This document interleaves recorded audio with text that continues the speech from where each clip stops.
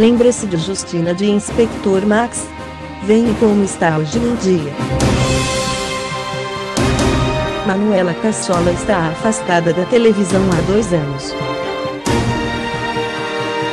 Manuela Cassola, de 92 anos, está afastada da televisão há dois anos, após a participação em Rainha das Flores, na SIC. Contudo, foi em Inspetor Max, na TV, que ficou conhecida como a empregada maternal Justina.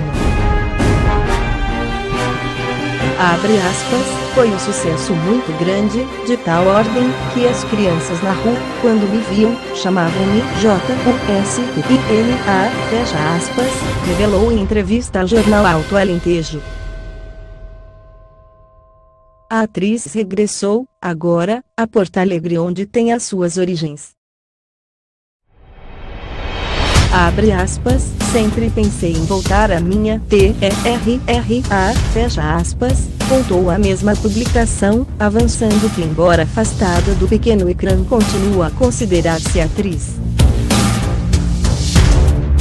Abre aspas, a carreira de uma atriz nunca acaba, vai até ao fim da vida. Enquanto eu tiver ouvido, voz e memória. Todos os atores fazem falta numa novela, os velhos e os novos, fecha aspas, referiu ao jornal Alentejano.